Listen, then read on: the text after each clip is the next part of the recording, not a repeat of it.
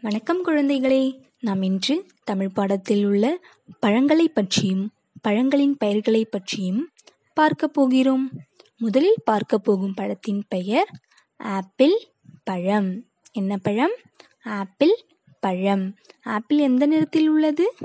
சிவப்பு நிறத்தில் உள்ளது. அடுத்த பழம். இது என்ன பழம்? கண்டுபிடிங்க. இந்த பழம் குரங்கு மாமாவிற்கு ரொம்ப பிடிக்கும். என்ன பழம்? வாழை பழம்.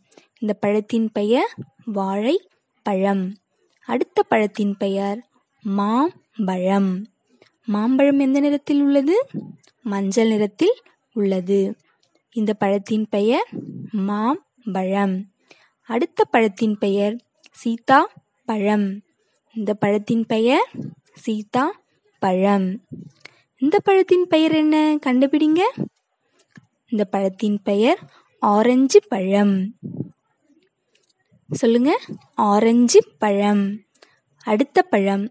இது என்ன பழம்? தர்பூசணி. இந்த பழத்தின் பெயர் தர்பூசணி. அடுத்து இது என்ன பழம்?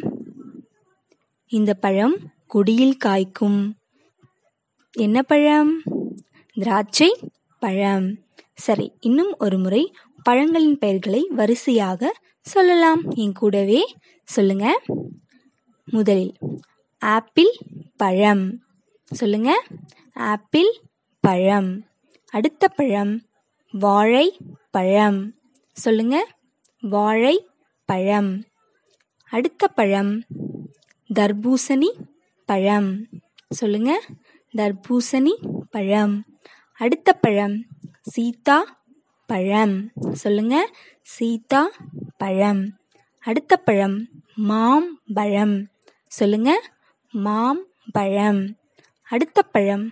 திராட்சை பழம். சொல்லுங்க. திராட்சை பழம். நன்றி குழந்தைகளே.